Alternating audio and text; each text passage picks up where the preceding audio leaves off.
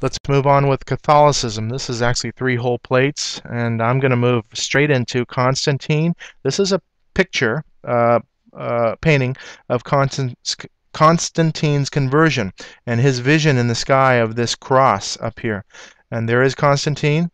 And look at this description of this vision, supposed vision he had. But look up here in the corner, and that is a none other than a dragon.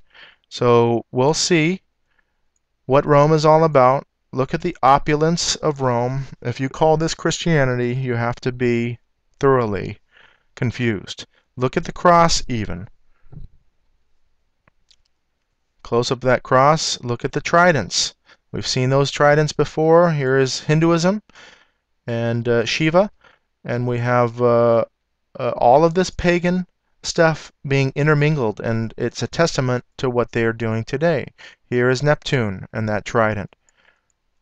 Moving on, here is the opulence of Rome again. Look at the Medici family.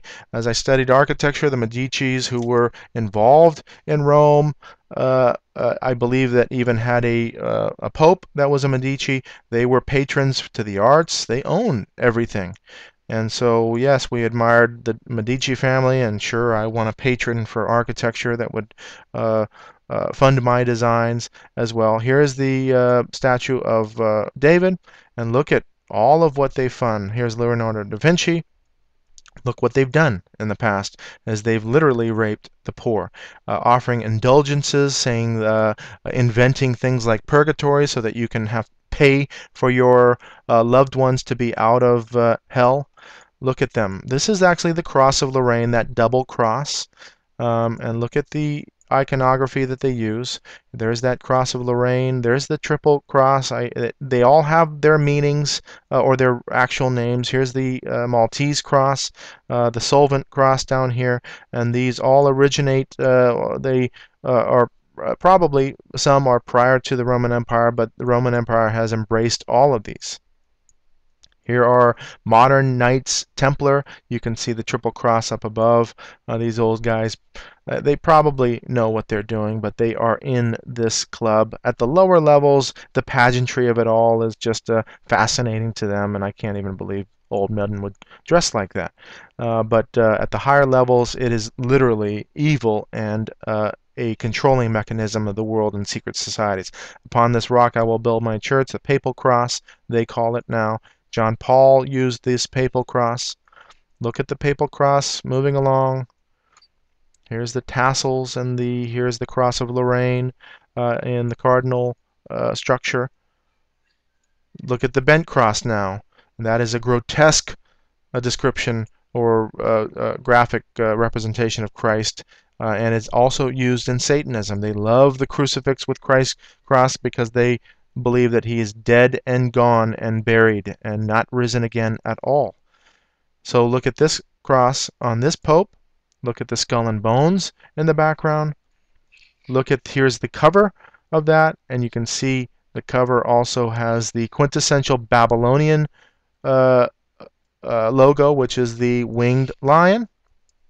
In addition to that, look at the cross itself. Here is the eye of Lucifer. Here is that that um, uh, lion and wings. Now looking at uh, a close-up of that. On the bottom here is the globe.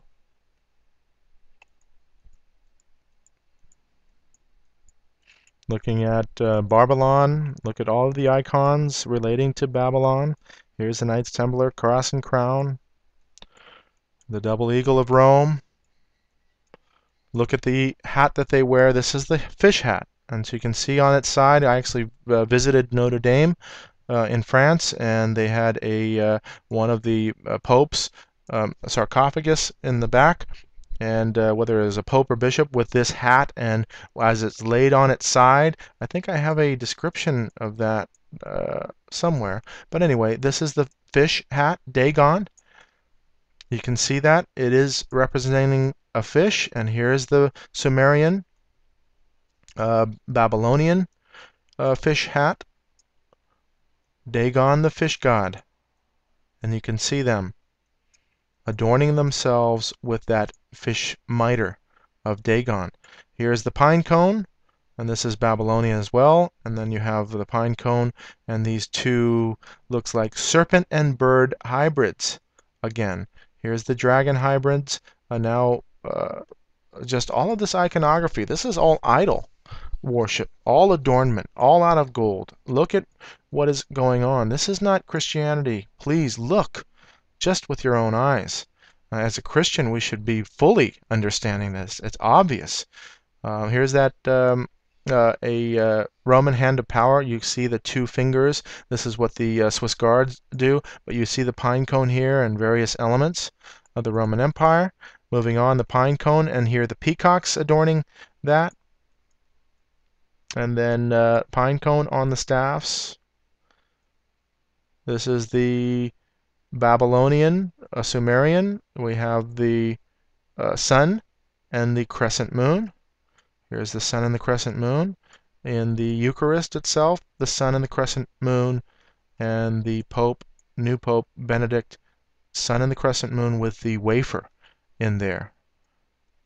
Here is the sun and the crescent moon uh, as depicted on on the bull.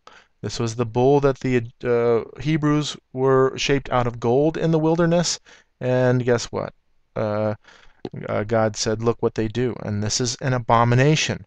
And so there's a fundamental difference between what the pagans do and what Satan does with his uh, flock and what God is saying specifically not to do. This is Isis and that bull crescent moon, and again the hybrid bull crescent moon uh, in this tarot card. Look at the crescent moon. This is actually the Om symbol in Southeast Asia, and it shows you clearly that that Om contains the crescent moon and sun.